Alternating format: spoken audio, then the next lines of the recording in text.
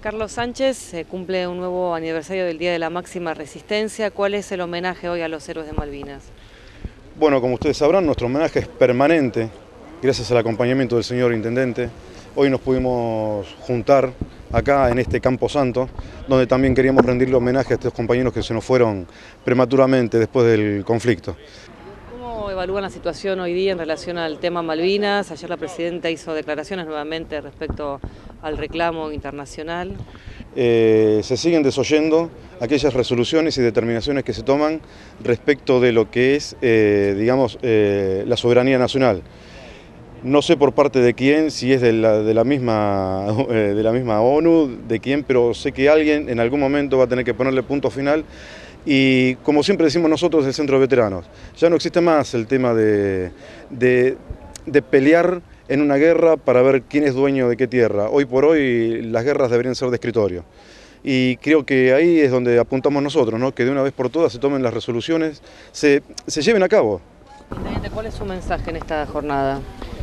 Bueno, recién lo decía, ¿no? el mensaje de reclamo permanente de soberanía sobre nuestro territorio nacional, incluyendo en eso a las Islas Malvinas, y, ratificando y reafirmando lo que nuestra presidenta en el día de ayer, eh, la compañera Cristina Fernández de Kirchner, le reclamaba al señor secretario general de las Naciones Unidas el cumplimiento de las resoluciones que se tomaron oportunamente el Consejo de Seguridad de Naciones Unidas, allá en la resolución 2065, ya hace más de 50 años que el organismo internacional está diciendo que Gran Bretaña debe iniciar tratativas con Argentina sobre el tema de la soberanía, y sentarse en una mesa de negociación para que se resuelva el tema de la soberanía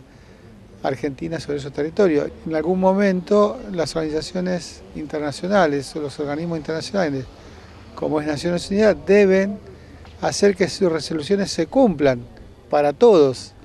Los países más chicos, cuando hay una resolución, normalmente se utiliza hasta la propia fuerza para que la cumpla. Cuando es uno de los países miembros del Consejo de Seguridad, eh, generalmente son desoídas las resoluciones, con lo cual pierde vigencia el organismo internacional que es tan necesario en los tiempos de la universalización de las relaciones entre los países. O sea que Creo que llegó el momento de este siglo de que eh, Naciones Unidas debe hacer cumplir esas, esas resoluciones a todos los países miembros, incluyendo a la propia Inglaterra, y esto va a hacer que Argentina pueda definitivamente resolver en este tiempo la soberanía sobre las islas. ¡Viva patria! ¡Viva! ¡Viva patria! ¡Viva! ¡Viva patria! ¡Viva!